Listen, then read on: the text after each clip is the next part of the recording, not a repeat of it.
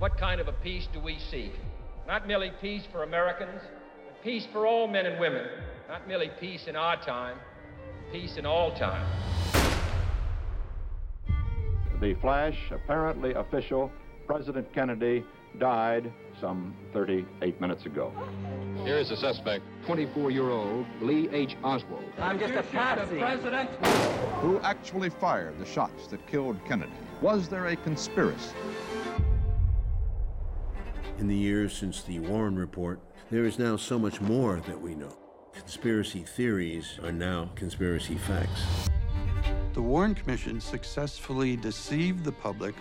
Allen Dulles' appointment to the Warren Commission is one of the great frauds of American history. Documents are withheld by the FBI, the CIA. Intelligence agencies did all the wrong things if they were looking for conspiracy. We will go back and piece together new facts and evidence that shed more light on what really happened here that day.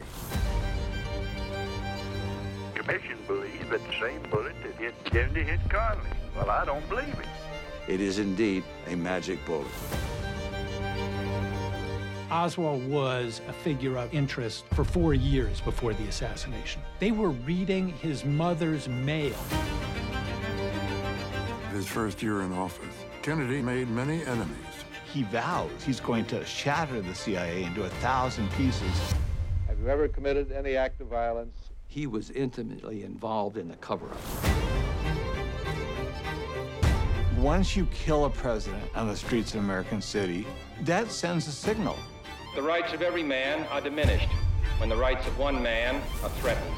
If America really wants a democratic society, and we should get to the bottom of this traumatic crime that continues to reverberate throughout American history.